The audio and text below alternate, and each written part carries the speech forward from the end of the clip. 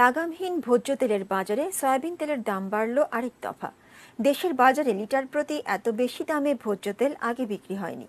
ভোজ্য তেল উৎপাদন বিপণনকারী প্রতিষ্ঠান ও আমদানিকারকরা আন্তর্জাতিক বাজারে দাম বৃদ্ধিকে এর কারণ বলছেন। সম্রাট আনোয়ারের রিপোর্ট। দেশের বাজারে সয়াবিন তেল লিটার প্রতি নয় টাকা বাড়ানোর ঘোষণা দিয়েছে তেল পরিশোধন ও বিপণনকারীদের সংগঠন Bangladesh vegetable oil refiners and vanaspati manufacturers association. বোতলজাত এক লিটার তেলের নতুন মূল্য একশো তিপ্পান্ন টাকা, আর খোলা তেলের লিটার একশো উনত্রিশ। সাম্প্রতিক সময়ে বিশ্ববাজারের সাথে সমন্বয় করে দেশের বাজারে তেলের দাম তেরো টাকা বাড়ানোর প্রস্তাব দেওয়া হয়েছিল বাণিজ্য মন্ত্রণালয়ে। শেষ পর্যন্ত নয় টাকা বাড়ানোর অনুমোদন দেয়া হয়। তবে মার্চ মাসের শেষের দিকে বোতলজাত তেল পাঁচ টাকা বৃদ্ধি, ঈদের পর আবার এক টাকা কমানো। আর সবশেষ এই নয় টাকা বাড়ানোর যোগ বিয়োগ বলে ব্যবসায়ীদের আবদার করা তেরো টাকার দাবি টিকল।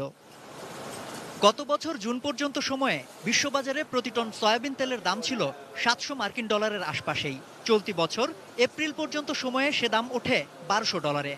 এতে দেশে আবারও যেন দাম বৃদ্ধির সুযোগ পান তেল ব্যবসায়ীরা। যেহেতু আমার দেশের প্রোডাকশন না এটা, যেহেতু আন্তর্জাতিক বাজারে দাম বেশি, তো আমি কম কীভাবে আশা করব। আমারে কম খেতে হবে, আমার চিন্তা ভাবনা করতে হবে, ওইভাবে আমার চলতে হবে। আমায় নিজেকে মানায় নিতে হবে আর কি কথা। তো এইটাই আমরা আশা করি আন্তর্জাতিক বাজারের দাম কমুক আমাদের দেশে একটা স্থিতিশীল অবস্থা বজায় থাকুক। কয়েকদিনের ব্যবধানে দাম বাড়িয়ে ভোজ্য তেলের বাজার অস্থির করার এমন প্রবণতা ভোক্তাদের জন্য অস্বস্তির। এক্ষেত্রে বাজারে সুষ্ঠু তদারকির বিকল্প নেই বলে মত কনজিউমার্স অ্যাসোসিয়েশন অব বাংলাদেশ ক্যাবের।